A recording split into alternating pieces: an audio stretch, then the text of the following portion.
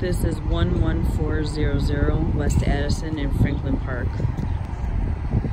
This is coming into one of their driveways.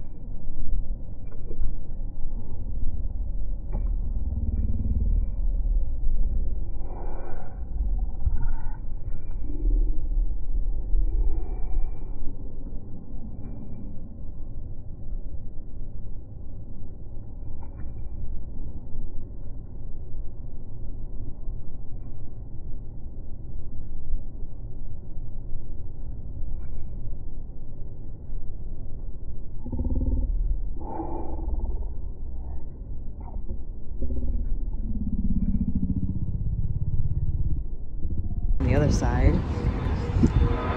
But this is where they have a lot of damage coming in. But that's on the street, so I don't know how that's gonna play out.